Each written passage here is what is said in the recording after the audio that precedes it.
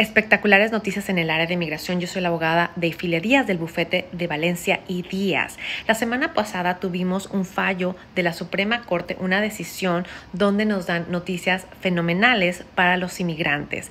La Suprema Corte se puso del lado de la administración de Biden en el sentido de que le está dejando continuar con una política, un memorándum que había tenido una detención en donde Biden dijo quién formaba parte prioritaria para ser deportado. Biden dijo, bueno, no voy a poder sacar a todo mundo, así que voy a poner los recursos económicos en donde las personas están dando más amenazas. Entonces, la prioridad para ser deportados son a las personas que están amenazando contra la seguridad nacional, la seguridad pública y la seguridad fronteriza. Entonces, las personas que han entrado indocumentados después de noviembre 1 de 2020 puede ser que sean prioritarios. Sígueme para más información en el área de inmigración. Soy la abogada de Ifile Díaz.